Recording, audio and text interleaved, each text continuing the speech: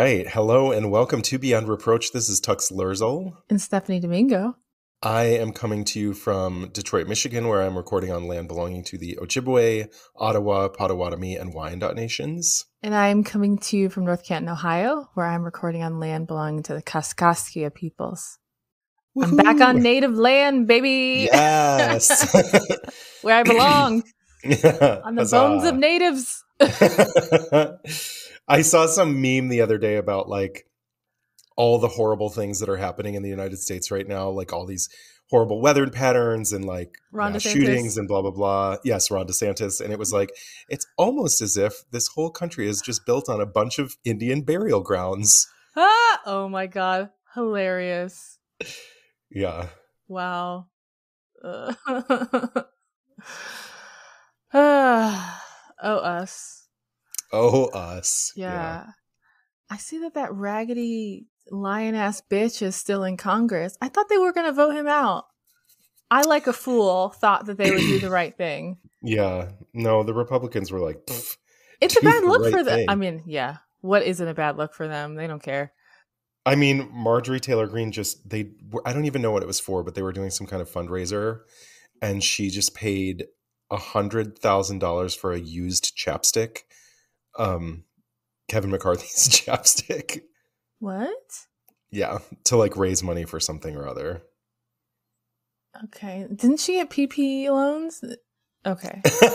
Make it make sense. Maybe she'll pay with that. yeah. And Ronnie, uh, Ronnie D, also known as Rhonda, Ha, Rhonda. Rhonda Santis. I Um, love that. But it makes him sound cooler than he is. Like he's like Yeah. an amazing drag queen pretending to be him. If only. If only. But yeah, Rhonda officially announced her presidency today. Okay. Okay, Oof. bitch. You're Yeah. not Trump. Like Yeah, you're, you're you're trying to be Trump. I've gone back and forth and back and forth on Me like too. whether or not he's more terrifying or less He- terrifying than He Trump. is more terrifying, I think. I don't yeah, they're both so bad. But he's doing really, really diabolical things. He's not just talking that big game, talking spicy. Like he's actually doing things. He knows how to make things happen in a way that Trump never did. Yes. And The like, one thing is, like, he's not likable in the way that Trump Exactly. is. he's Even not though, charismatic at all. yeah, yeah, He's doing all the Trump things and, and then some, but people still like aren't excited like they Yeah. are for Trump. Yeah. He doesn't have fans. Like people aren't wearing um Rhonda merch. yeah, we'll see. I don't know. I, I don't he's know still a terrifying individual. Yeah. So either way, it's scary fucking I just scary like shit. I wish bad things would happen to bad people. yeah. Like where is this karma shit I I've been hearing about? Like where it at? Where it at? Where you at, karma? hmm Um, because Yeah, where's these men are running rogue. Yeah, What did you say? I'm sorry. where's Rhonda's sinkhole? yeah, just They- like can a gator just get him? Come on. Please. he also just like lost Florida like a billion dollars worth of development. Yes. So Yeah. that was like a big shakeup at work uh, two weeks ago. Disney's not moving to Florida anymore, hmm and they yeah they're they're pulling their people out. They're paying for their relocation back to the West Coast. It's it's a huge loss for the state, a Yeah. massive massive loss. But he doesn't care. Like he's he's not like Trump where he needs to be loved. Yeah. Literally, yeah, he doesn't care what people think about him. Not, Which not is- one bit. Yeah, which is part of the reason why I don't think he's gonna win the primaries in the way that Trump would, because Trump is so hyper focused on um like his image. Yeah. Yeah. Um, but anyways, that's not, that's not actually what we're here to talk about Yeah. today. um, Thankfully. yeah, yeah, we're actually here um, because we're making a really big announcement. We've done uh, quite a bit of like soul searching. Yes. Yeah, in the past couple of months, and have decided to make a very big change to the way this podcast is going to move forward. Uh, Stephanie and I are going to take a, uh, we're going to go on sabbatical. Yeah. Yes. um, we need we need a little bit of a break. So we're going to take a six month minimum sabbatical and then sort of reevaluate where we are in six months and see if we're willing to come back then or if we need a full year yeah. before we're able to really dive back into the podcast in the way that we think that the podcast deserves to be. Absolutely. Yeah we are definitely coming back. I don't want people to worry. We had a patreon we recorded a patreon video video last weekend um, giving the news to our supporters first. We're coming back. We just there's so much going on in our personal lives, in mm-hmm. our um, professional lives. It's just it the timing is bad and it's it was not a decision made in haste. It was something that we both had to wrestle with. Yeah. We love doing the show. Like I I can just speak for myself. I love doing this show. I love yeah. being a nerd and having this yeah. this time to um, research something that I'm in- interested in, something that has, um, I think, relevance to the world that we're living in now. And I get to hang out with Tux um, yeah. virtually, which isn't the same as in person, but it's something. So I'm really going to miss that. But yeah. um, we want to be able to focus on it the way that we had previously. This year, there's just been so many spinning plates in both of Absolutely. our lives and we've shared some of it, most of it actually. Like you guys, this this shouldn't really be a huge shock. Maybe it is. um, but Tux is renovating a gorgeous house, a house I was just at last weekend for Tux's 40th birthday. Mm-hmm. Um, and it is no small feat. Um, I am traveling. I am, I mean, my fucking work is crazy. Um, yeah, it's just, there's a lot on both of our plates right now. Yeah, it's not, you know, it's not just the house, it's not just the traveling. No. There's also like a lot of professional upheaval and yes. unknowns and all sorts of things that that need to be figured out and loose ends that need to be tied up. And we both have felt like this past season, as much as we have loved this past season and think we've been doing a great job, especially considering the circumstances we've been doing the this this past season under yeah doing it remotely and doing it from other countries at weird hours there's been recordings where it's been like three o'clock in the morning for stephanie yeah. and you know what i mean we have been trying to put out the best show possible and it's been really hard and i do yeah. think as much as we tried not to let this happen i do think that some of the episodes have suffered a little bit yeah i agree. just you know, I think the stories are still solid, but like the energy level and the totally the, the humor and the fun yeah. in it has sort of, you know, been a little low energy in a way that we think is, you know, that's this is not the way we want to do this show. We did the best we we've done and we will continue to do the best that we can, but I Absolutely. think it just makes sense to take a break, to regroup, Absolutely. get back on solid footing and come back um this is also five years that we've been doing yes. the show for five years without a break. yeah, without years. that's true. In many podcasts, like we have lots of pod friends, as you you guys all know. Um, they take breaks, extended breaks, not just summer mm-hmm. breaks throughout the year, yeah. and we haven't really done that.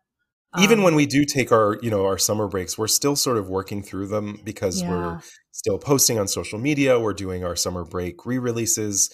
Um, and so it's still like it has never really felt like we've had when completely been able to just sort of step away from it for any extended period of time. Yeah.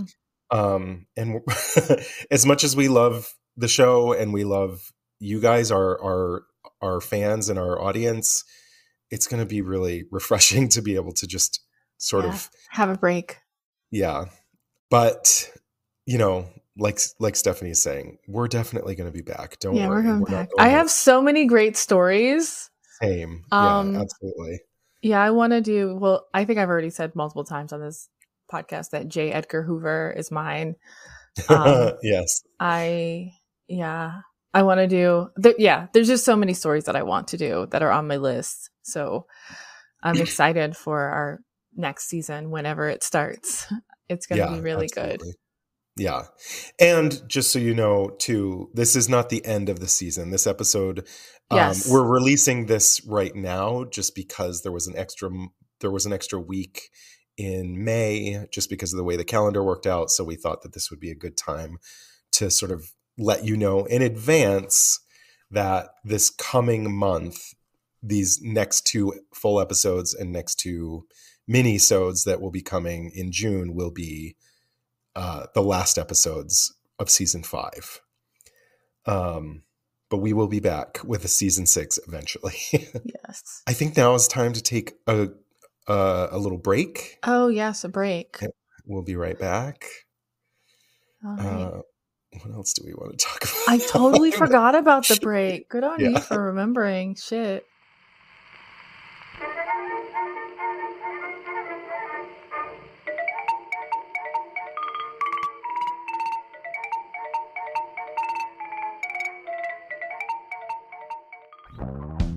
I'm Natalie. And I'm Cass. And we're the hosts of Shared History, a comedic history podcast exploring the stories of the often overlooked or underrepresented. The people and events your history books may have glossed over, whitewashed, man washed, or left out completely. From the Mayan creation myth to the Deaf President Now movement of the 1980s. From ancient scientist Avicenna to first female principal chief of the Cherokee Nation, Wilma Mankiller. If you saw it in a footnote once, or have never heard of it, we are here to share it with you. Join us in a rotating guest list featuring scholars, writers, teachers, entertainers, entrepreneurs, subject matter experts, and more. Tune in to Shared History on Apple Podcasts, Stitcher, Spotify, you know the drill. And follow us at Shared Pod on Instagram and Twitter. And as always, share you later.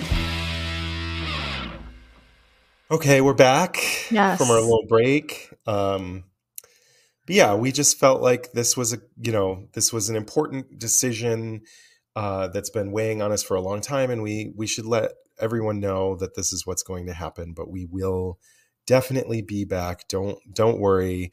Um, we're not going to be doing a uh, set of summer break re-releases again this year, um, but after this next month, after June we're going to go on an extended, uh, undetermined break.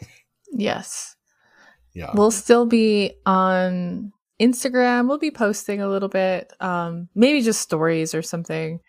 Yeah. But I encourage you all to follow us individually because we're we are somewhat ac- active.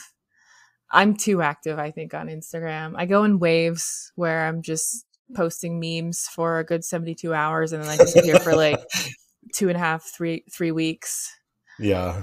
Um, I'm constantly posting updates on my house. If anyone yes. is not following my, my personal or my house, uh, Instagram account, it's Detroit duplex. Um, there, this house is a constant, like it, it never stops. The work never stops is just when I think that something is finished, there's something else to do. There's like when one project is finished, there's four more lining up behind it. Like mountain, me next, me next. Yeah. But you've made such progress. It's really yeah. so beautiful. It's it's really come together. Thank you. Thank you. Um, yeah, today I was upstairs priming ceilings and and walls, getting ready to paint some bedrooms upstairs and like completely forgot that we were supposed to be recording this mini. Stephanie texted me like, "Whenever you're going to record?" And I'm like, "Oh my god, I'm covered in primer. what?" yeah, but you'll you'll have time to focus on yes, continue to focus on the house and all of the things that it needs. Absolutely. Um, I will be traveling this summer. I will be in Albania and Italy and probably a few other places. My cousins want to meet up in Germany this fall at some point. So I'll probably finally see Berlin. That's only, so exciting. The only part of Germany I think I'm going to like. um, Berlin looking, is a really cool city. yeah, sure. I'm looking forward to that. I've I've met great people from Berlin that are all so shocked that I've never been there. They're like, oh, when I tell them that I, I primarily stay in Frankfurt, they give me a look of like, They're like sadness. Yeah. yeah.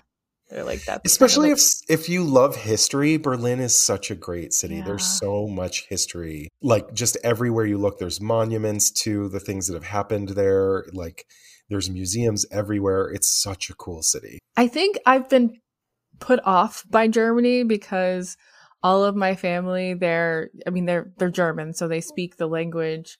And I like I don't know a lick of German, like at all. Mm-hmm. And that's really yeah. hard for me. Sure. And I've been told Berlin, everyone speaks English. And I know that everyone to be true. English in Berlin. You do not need to know German. But German is just like so, so fucking foreign. Mm-hmm. Like we, having lived in New York for so long, we pick up Spanish and you've worked in restaurants. Like mm-hmm. Italian's very similar to Spanish. Like there are words that you can, you know, you can pick out when people talk. But with German, it's like, it's, yeah. It sounds like, it, yeah, it's so foreign. And the yeah. words are all like this long. Absolutely. Yeah. I know people can't see my hands, but long. but I'm like, it's like two. The words are like two lines long. It yeah. seems, and they're all consonants, and I just can't. Um, so that's why that's part of the reason why I haven't really explored Germany. But I'm looking forward to seeing Berlin this summer. Yeah, and just dedicating myself to rededicating myself to learning UX, which is something that I really like doing, mm-hmm. but I've just had to put it on the back burner with things happening at work and just yeah, all of the changes there. I have not had time to focus on it like I really want to. So I'm looking forward to doing that as well this summer. Yeah, I think both of us are like looking for some changes in our professional lives as well as our personal lives. Absolutely. So Yes. this yeah. this is a, a, really necessary break for us. But we're going to um, put our Patreon for those of you yes. who follow us or support us on Patreon but haven't watched our most recent video yet. Uh, we are going to put our Patreon on pause so you can still support us and you can still be a Patreon supporter. But while we're not putting out new content, you won't be charged for um, being a Patreon supporter yeah. during that break but even if you uh even though we're putting st- uh, you know putting a pause on our patreon if you want to support us that's a great way to do it. You should yeah. still do it. Yes. for real. Yeah. Do it do it. Yeah. Yeah i'm looking forward to taking time away but i know i'm gonna miss it. I really i know. I i know I, that i am. Yeah. Yeah as you know i'm definitely gonna miss the the stories that we learn on the show and like the as much as it is difficult to research and write these stories and sometimes it is just emotionally draining yeah. when these stories are oh particularly heavy it's also like it is really entertaining to to like learn new things yeah. as as two people who are like history nerds. It's a very fun thing to do in your free time and it's also like like Stephanie said earlier, this is our like hangout time too, yeah. you know. And I hope that everyone can sort of feel that when they listen to the show, like how much we enjoy what we're doing. Yeah. I think we're gonna have to have like a I don't know, cocktail hour like once a month or something, just to like e hang. mm-hmm, absolutely. Yeah. Yeah. um but yeah, we will be back. Don't you worry your pretty little heads. yeah, and uh, like we said, this is this is not the end. There's still another month to come. So tune in next week and there will be another amazing story from American history coming at you. So get ready. Get ready for the last month of season 5 because it's going to be a great one. It's a Pride month. Exactly. Yes, I'm very excited about my next story. Did you hear that sh- about that show with Target? How they're they're, they're like, like pulling yeah. Or at least they're they're pushing their their retail space to the back, like the queer space to the back of the store. I'm like, wow, you guys aren't even pretending. yeah. I wonder if it's every if they're doing it everywhere or if it's just in certain states that they're doing that. But either way, it's ridiculous. Yeah. it's trash. It's just like we thought. Yes, exactly. Just as I thought. Yeah. I mean, America. Imagine. We're really uh, like not okay, y'all. we're really we're really struggling right now. It's not all bad. There's there's lots of, you know, positive things happening, but like there's a lot of loud and wrong happening right now. 100%. Oh. Yeah. I'm so excited to have moved to Michigan when I did, though, because Truly. there's so much good stuff happening in Michigan yeah. right now. Yeah. Eric Adams, dumbass. Oh my god. Fathead. I hate him so much. my mom is just like, oh, do people like him? I'm like, do people like the cops? No. oh, yeah. He's he's the worst. He's like ruining New York City right now, single handedly. He can't uh, ruin the city, but he's gonna try. I mean, yes, Giuliani exactly. tried. It's fine. He's he's not gonna get another term. But this has already been like I was sick of him day one. Like I was over Absolutely. him. Yeah. Um. Oh, I hate him so much.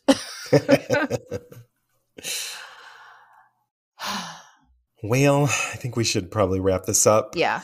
Um, but thanks everyone for tuning in, and I hope that you understand where we're coming from and and appreciate like the amount of time and effort and research and work that goes into making this show what it needs to be and the fact that we just don't want to be putting out a subpar product because yeah. we know how good this show can yeah. be when we have the time and energy and exactly. headspace to devote mm-hmm. to it. Yeah. Um but yeah see you next week. Yeah. Bye guys. All right uh, yeah, we're not drinking anything, so yeah. All right. That's it. That's it. All right. Bye. Bye, everyone.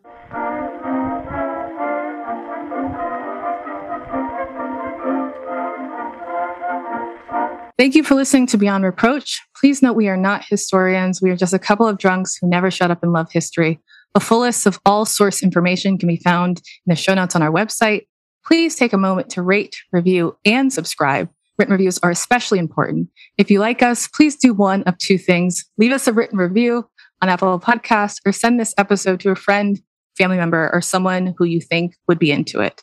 Don't forget to follow us on social media and make sure you follow us on Instagram because we post our cocktail recipes the Thursday before each full episode. Please drink along with us if you are not driving. We also have a shop on beyondreproachpod.com. Get your merch, brand yourselves. We also have exclusive content on Patreon where you can directly support the production of our show.